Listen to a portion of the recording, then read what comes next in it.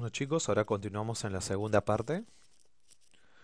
Para este caso vamos a ubicarnos en su libro de razonamiento verbal en la página 73. Aquí ustedes van a poder encontrar ¿no? los conceptos que hemos visto en el video anterior, algunos ejemplos adicionales ¿no? acerca del préstamo y extranjerismo. Recuerda que el préstamo es cuando nosotros utilizamos palabras de otro idioma y las transformamos, ¿no? las transformamos de acuerdo a nuestras reglas ortográficas, ¿no? Aquí nos ponen un ejemplo, la palabra líder. Está en castellano, tiene sus reglas ortográficas según nuestro idioma.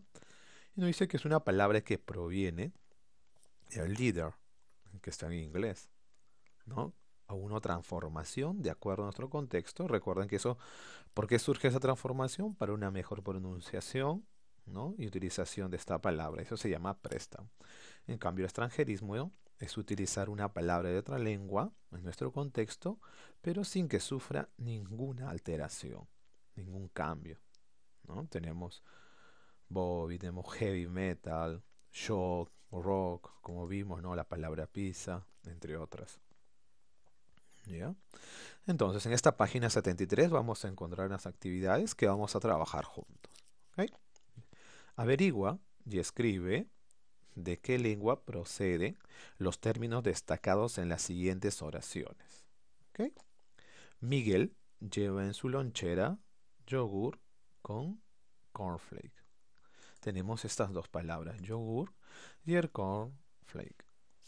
Entonces, estas dos palabras, ¿sabrás de qué idioma provienen? ¿De dónde hemos, eh, hemos realizado el... Sería en este caso no han sufrido ninguna alteración, ¿no? Cuando no sufren ninguna alteración se llama extranjerismo. Entonces,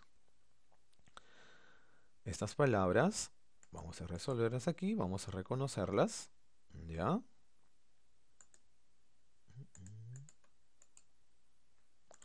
A ver, vamos a resaltarlas para que ustedes vean también la respuesta. Listo. Entonces, estas palabras provienen, en el caso de yogur, proviene del turco, ¿no? Es una palabra en turco. En el caso del cornflakes, es una palabra que proviene del inglés. Tenemos aquí el extranjerismo, utilización de dos palabras que no han sufrido ninguna alteración. Su hobby era coleccionar estampitas. Hobby. Esta palabra proviene del inglés. ¿ok?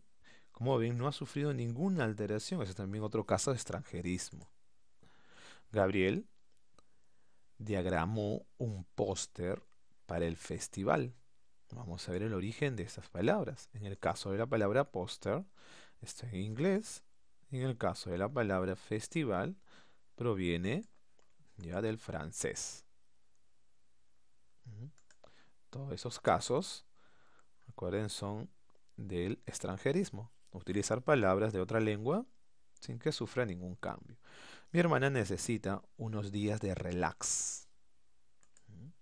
Entonces, relax es una palabra y estrés que están en inglés. Se puso un overall ya que encontró en el closet.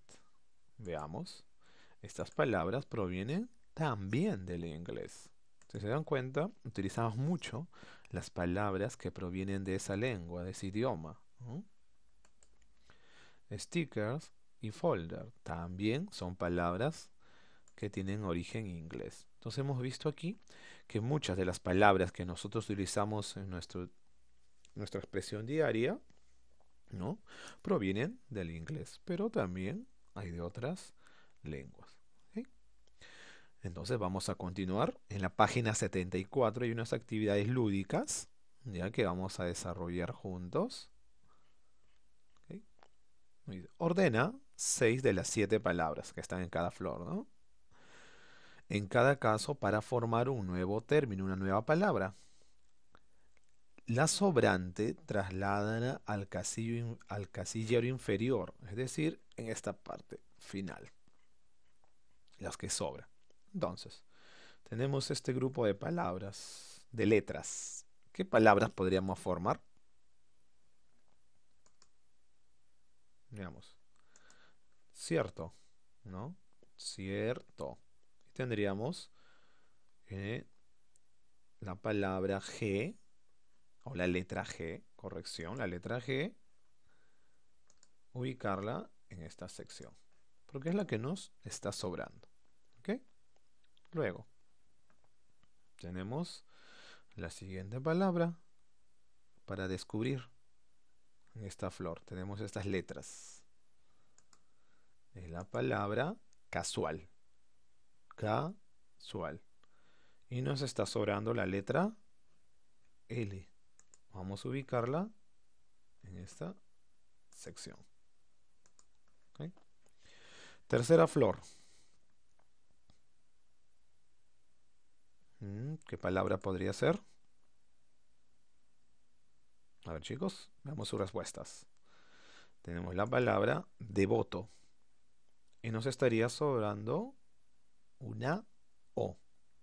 Entonces, lo ubicamos en esta parte final.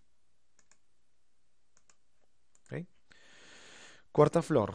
Tenemos esta serie de letras y vamos a descubrir qué palabra puede ser. Hábito. Y nos estaría sobrando la letra B, ¿no? Una B también. Hasta ahí. Creo que ya se va descubriendo qué palabra puede ser en la última sección, ¿no? A ver, en la quinta flor, ¿qué palabra podríamos formar con esas letras? chicos, vamos a comparar su respuesta. La palabra novela. Y nos está sobrando una letra. En este caso, la vocal A. Y lo escribimos en la parte final. Y la última flor, ¿qué palabra podría ser? Vamos a descubrirlo. Es esfera. Y nos está sobrando la letra L. Entonces en la parte final sería, uy, no se ve, la parte final sería la palabra global. Entonces hemos descubierto las palabras que estaban mm, desordenadas o las letras que estaban desordenadas en la flor y formar de manera coherente las palabras. Entonces, quedaría como tarea, que también lo voy a estar ahí adjuntando como archivo, la página 75. Ok chicos, entonces nos vemos hasta la próxima semana. Cuídense. Chao chicos.